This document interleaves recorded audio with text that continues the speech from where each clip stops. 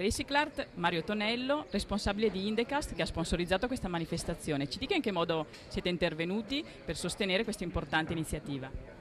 Sì, noi siamo intervenuti nel senso che l'anno scorso siamo stati un po' gli ideatori di questa manifestazione, in quanto siamo l'azienda di Castiglione che segue appunto raccolta rifiuti, verde pubblico, il discorso idrico.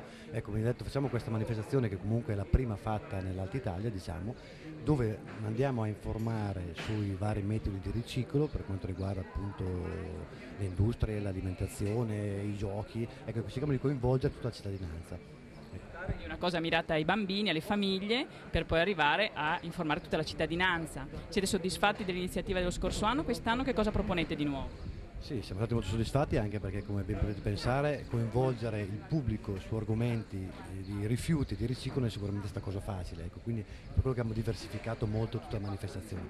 Quest'anno abbiamo fatto delle, delle aggiunte diciamo, quindi anche il caffè della scienza, abbiamo fatto poi coinvolto le scuole di danza del, del, paese, le letture, quindi siamo così tutto un pubblico eterogeneo e sicuramente mi auguro che avrà un ottimo risultato.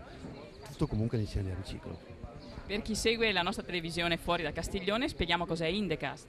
Sì, Indecast è la municipalizzata di Castiglione Stiviere che si occupa per appunto delle, del discorso igiene urbana, del verde pubblico, del discorso idrico, fognatura, ecco, tutto, tutta l'attività riguardo appunto ecologia e rifiuti.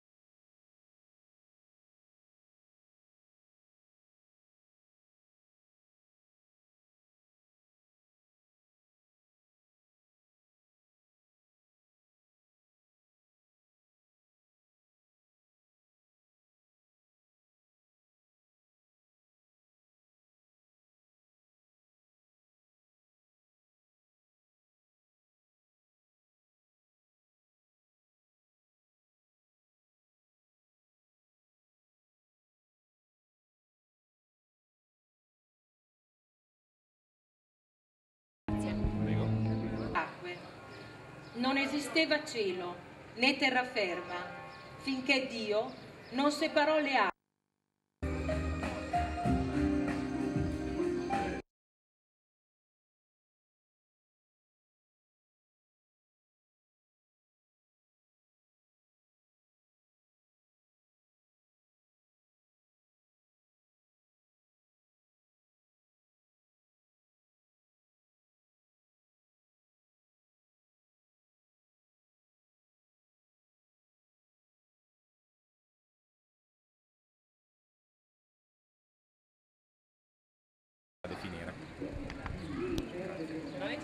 Sempre dritto.